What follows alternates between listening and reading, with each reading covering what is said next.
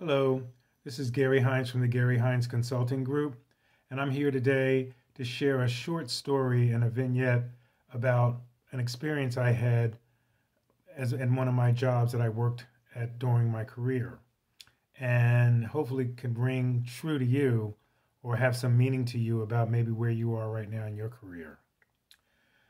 So, as they went around the room, I knew my moment of reckoning was coming.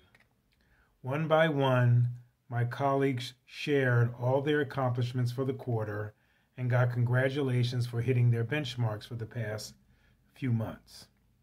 That was not what I signed up for. As the director of education and training for a nonprofit, I thought I was going to be impacting lives for the better. And in many ways, I was able to achieve that early on, helping the single mother in subsidized housing find a way out for her and her family but just as I was hitting my stride, things changed to one of more focused around funding, streams, grant management, compliance, and reports. I was pushing papers rather than serving a mission that I was very passionate about. Quarterly reporting benchmarks became the focal point of whether I was doing a good job or not. On that metric, I was failing badly. So in that quarterly meeting, it was now my turn. My bosses went through their spreadsheets and saw that I didn't hit my benchmark for the quarter.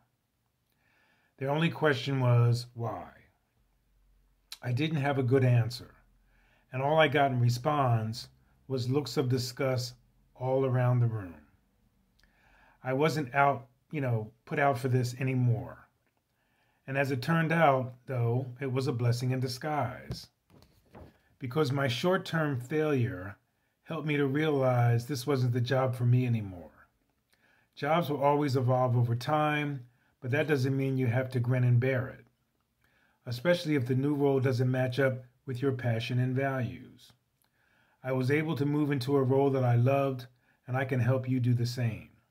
My escape velocity formula will help you light the way contact me. GaryHinesConsulting.com 215 954 8309. Thank you.